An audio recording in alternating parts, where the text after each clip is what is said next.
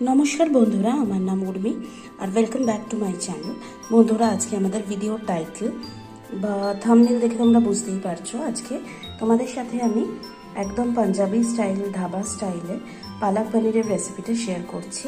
এটা খুবই সহজ টেস্টি এবং বাড়িতে আমি অনেকবার বানিয়েছি। সবাই এটা একদম আঙুল চেটে খায়। তো কীভাবে তোমরা ইজিলি এটা বানাতে পারবে, আমি তোমাদের সাথে শেয়ার করছি। অবশ্যই দেখে নাও, খুবই হেলদি এবং টেস্টি এই রান্নাটা। আর যদি এই রেসিপিটা ভালো লাগে, অবশ্যই এই ভিডিওটাকে লাইক করো শেয়ার করো। যারা এখনও আমার চ্যানেলটা সাবস্ক্রাইব করনি, একটু সময় দিয়ে সাবস্ক্রাইব করে নাও। এবং বেল বাটনটাও প্রেস করো, যাতে ফিউচারে কোনো ভিডিও বানালে তার নোটিফিকেশন সবার আগে তোমাদের কাছে পৌঁছে যায়। তো শুরু করছি আজকের এই সহজ রান্নাটা।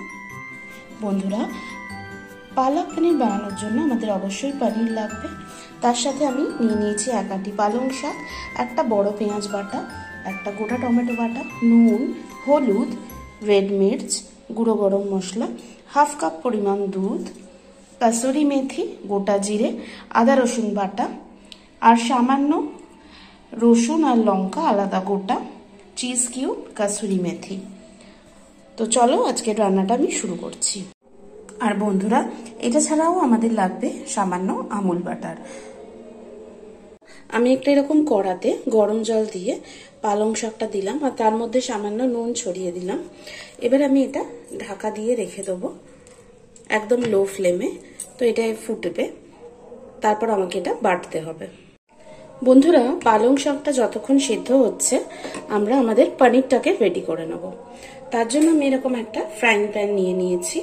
প্যানে আমি ওয়ান টেবিল স্পুন মতো সাদা তেল দিয়ে দিলাম। আর আমি এতে দেব সামান্য বাটার এবার আমি এতে সামান্য বাটার দিয়ে দিলাম।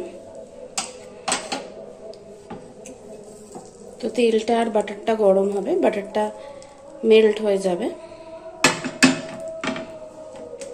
আঁচ আমি বাড়াচ্ছি না, যাতে আমাদের বাটারটা কিন্তু পুড়ে গেলে হবে না। আর মাখন খুবই তাড়াতাড়ি গলে যায়, তো আমি লো ফ্লেমেই রাখছি। আস্তে আস্তে মাখনটা গলবে। এবার এই তেল আর মাখনের মিক্সচারটার মধ্যে আমাকে সামান্য নুন, হলুদ আর একটু কাশ্মীরি লঙ্কা গুঁড়ো দিতে হবে। আমি সামান্য নুন দিয়েছি।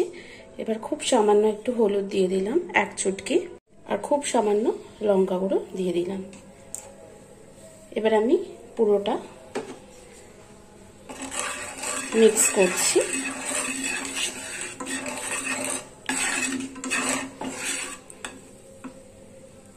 আমি এটার মধ্যে খুব সামান্য একটু কাসুরি মেথি দিয়ে দিলাম। তো এটা একটা বেস তৈরি হলো। এবার আমি পনিরটা হালকা করে এর মধ্যে সতে করে নেব। পনিরটা এর মধ্যে দিয়ে দিয়েছি। এবার হালকা করে আমি এগুলোকে উল্টে নেব। এতে পনিরের গায়ে একটা কোটিং এসে যাবে, একটা ভালো ফ্লেভারও আসবে। তো আমি এবার এই পনিরগুলোকে তুলে নেব। হালকা সতে হয়ে গেছে। এরকম দেখতে হবে। এবার আমার পালং শাকটা পুরো বয়েল হয়ে গেছে। এবার এটাকে আমাকে বাটতে হবে রসুন আর কাঁচা লঙ্কার সাথে। বন্ধুরা, দেখো, পুরো পনিরটা আমি এইভাবে সতে করে রেখে দিয়েছি। আর পালং শাকটাও আমি এইভাবে স্ট্রেন করে নিলাম। এবার এই পালং শাকটাকে আমাদের রসুন আর লঙ্কা দিয়ে একটা স্মুথ পেস্ট বানাতে হবে। তো বন্ধুরা, দেখো, আমি পালং শাকটা পুরো জল ঝরিয়ে আমি একটা ব্লেন্ডারের মধ্যে নিয়ে নিয়েছি। এর মধ্যে আমি ছ সাত কোয়া রসুন আর দুটো কাঁচা লঙ্কা দিয়ে দিলাম। এবার পুরোটা আমরা একটা স্মুথ পেস্ট বানাবো।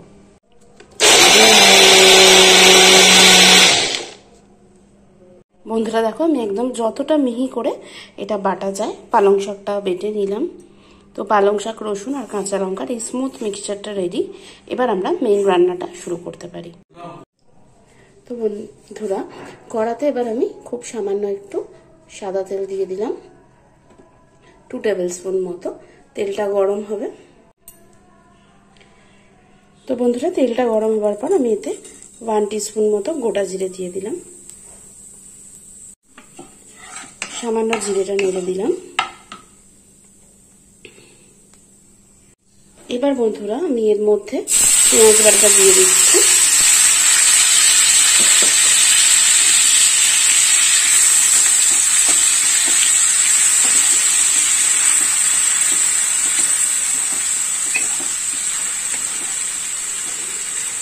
এটা নাড়তে থাকবে। এবার আমি এর মধ্যে আদা, রসুন বাটাটাও দিয়ে দিলাম। পেঁয়াজ, আদা, রসুন সব কিছু ভালো করে নাড়তে হবে হাই ফ্লেমে। যতক্ষণ না আদা, রসুনের কাঁচা গন্ধটা যাবে, আমরা এটা সতে করব।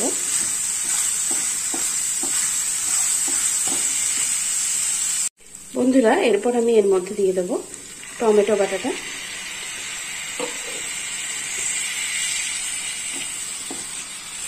এবং আবার সব কিছু ভালোভাবে মিক্স করবে। এই সময় আমরা আরেকটু নুনও এর মধ্যে দিয়ে দেবো। এরপর আমরা এর মধ্যে দিয়ে দেব এক চামচ হলুদ আর এক চামচ রেড মির্চ বা লঙ্কার লাল গুঁড়ো। আর নুন আমরা এমনি দিয়ে দিয়েছি। আবার এই পুরো পেস্টটা মিশিয়ে দেব।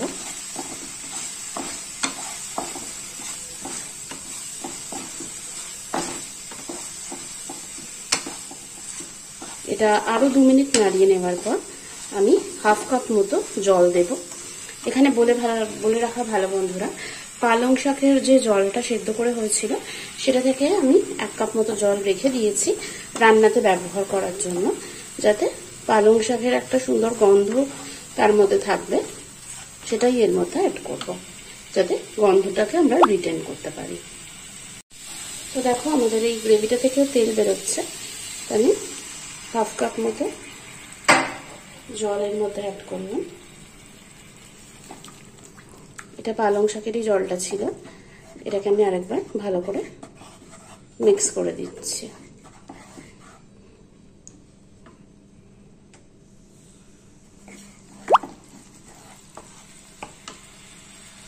বন্ধুরা, এই জলটা দেবার পাঁচ মিনিট পর আমরা এবার পালং শাক, রসুন আর কাঁচা লঙ্কার যে মিক্সচারটা বানিয়েছিলাম এটা এর মধ্যে অ্যাড করে দেবো।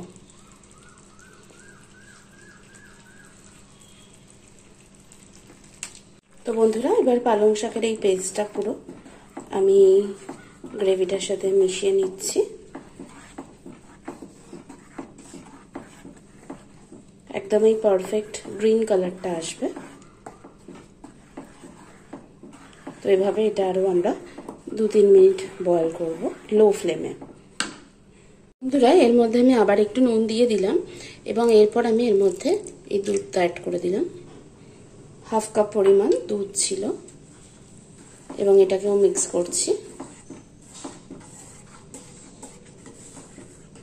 দেখছ কি সুন্দর কালার কম্বিনেশনটা হচ্ছে।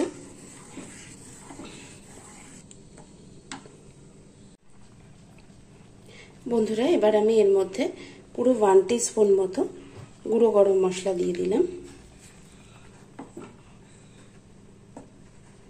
এটাকেও আমি ভালো করে মিক্স করছি।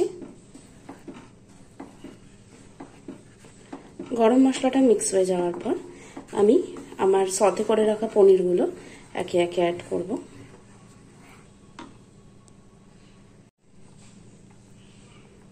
তো আমি পনিরগুলো অ্যাড করে দিচ্ছি। পনিরটা দিয়ে দেওয়ার পর আমি এতে ওয়ান টেবিল স্পুন মতো বাটার দিয়ে দেবো। দিয়ে এবার আমি গ্যাসটা অফ করব। এরপর আমাদের লাস্টে চিজ আর কাসুরি মেথি দিয়ে এটা গার্নিশ করতে হবে। তো বন্ধুরা দেখো, আমি পালক পানিরটা সার্ভ করে দিয়েছি। আর এর উপরে একটু কাসুরি মেথি আর চিজ আমরা গ্রেট করে দিয়ে দিলাম। তো আমাদের রেসিপিটা আজকে পুরোপুরি রেডি তোমরা অবশ্যই এটা ট্রাই করো। রুটি, পরোটা, নানের সাথে খেতে এটা খুব ভালো লাগবে এবং খুবই টেস্টি এই রান্নাটা। এবং সব থেকে সহজ পদ্ধতিতে আমি এটা দেখালাম। তো তোমরা এটা অবশ্যই ট্রাই করো। নিশ্চয়ই তোমাদের ভালো লাগবে।